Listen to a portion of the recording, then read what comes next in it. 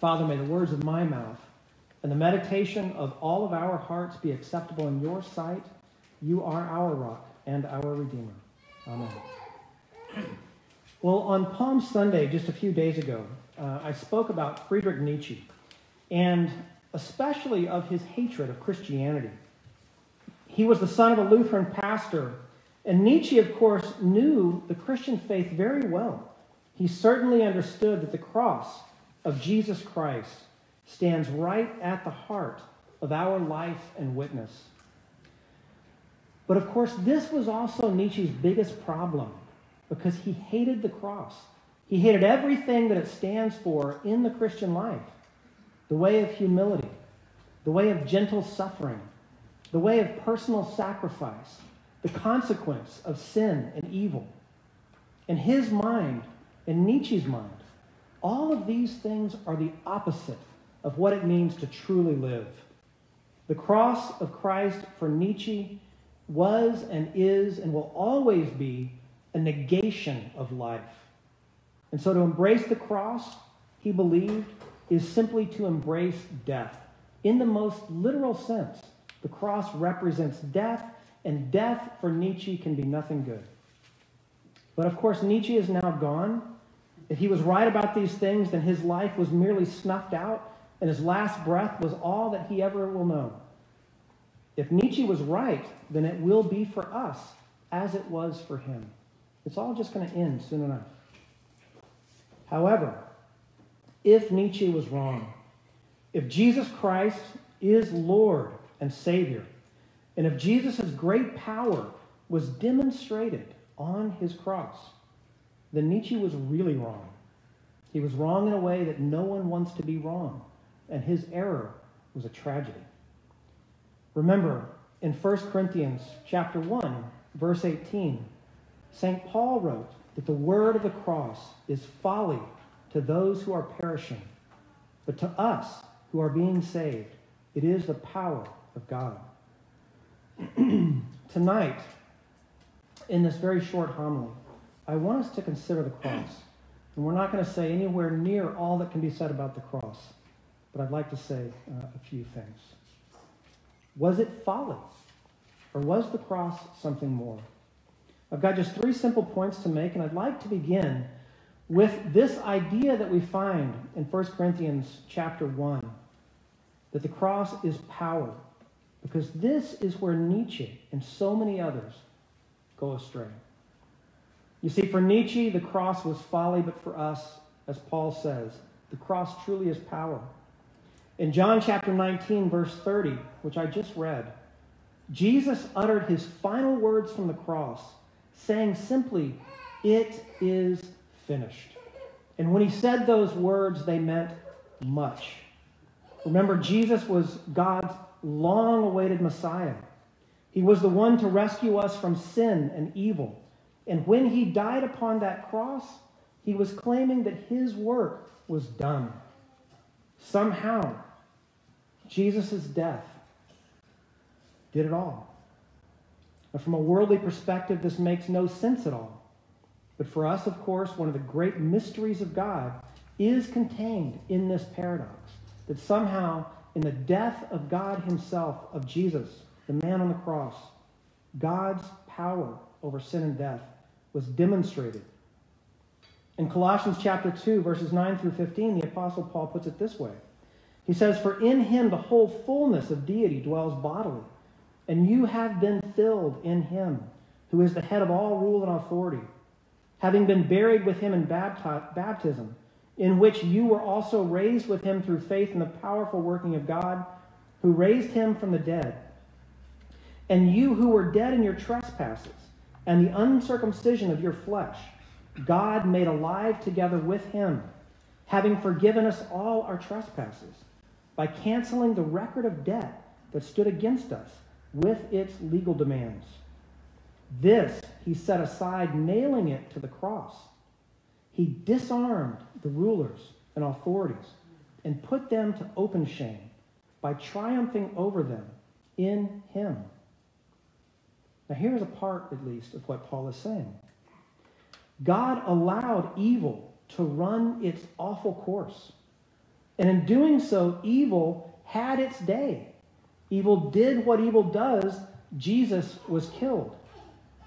What this means is that evil has the power to destroy and to kill, but that is all that evil can do. And of course, we know there's more. Because after evil had its day, God raised Jesus up from the dead, proving the limits of death and his own unlimited power at the same time. Evil and death can only kill, but God can bring to life. God can even raise the dead. And in the cross of Jesus Christ and in the resurrection of Christ, God demonstrated his power to do just that. And so on the cross, evil and death were disarmed. Satan was rendered powerless through the death and the resurrection of Jesus Christ. St. Athanasius of Alexandria considers this great mystery, and he suggests that Jesus took a body like our own because all our bodies were liable to the corruption of death. He surrendered, he surrendered his body to death instead of all and offered it to the Father. This he did out of sheer love for us, so that in his death all might die, and the law of death thereby be abolished, because, having fulfilled in his body that for which it was appointed, it was thereafter voided of its power for men.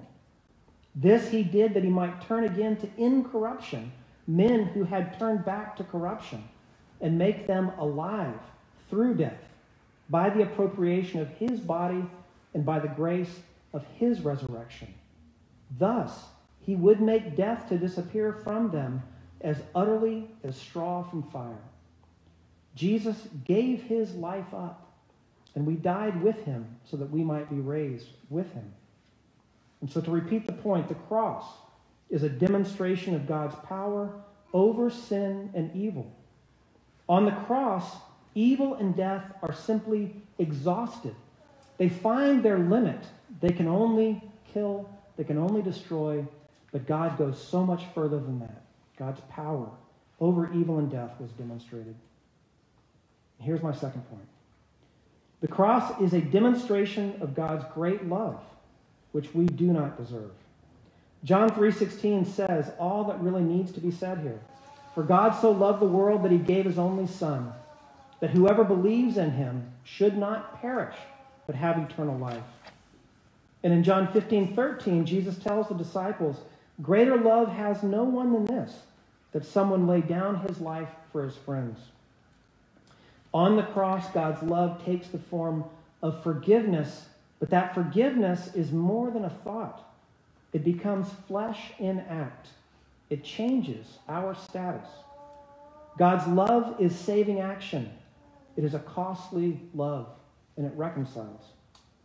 In Romans chapter 5, verses 6 through 11, St. Paul writes that while we were still weak, at the right time Christ died for the ungodly. For one will scarcely die for a righteous person, though perhaps for a good person one would dare even to die.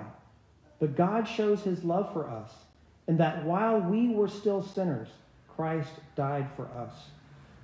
Since therefore we have now been justified by his blood, much more shall we be saved by him from the wrath of God. For, why, for if while we were enemies, we were reconciled to God by the death of his Son, much more, now that we are reconciled, shall we be saved by his life.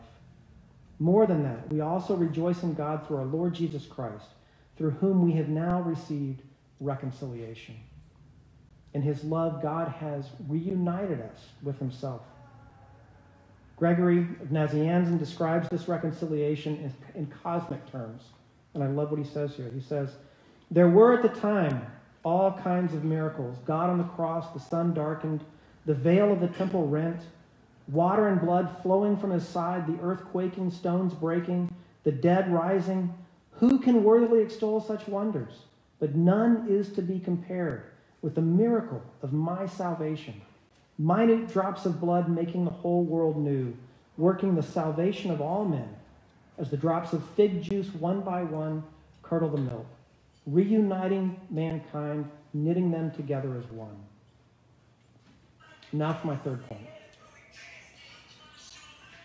The cross of Christ reveals to us our. Sorry, I'm going to start again. It's Good Friday. It would be a really good time to, for, for, to say something funny. Um, uh, but, that, but I'm not going to do it. Um, sometimes we need that. All right, here's my third point.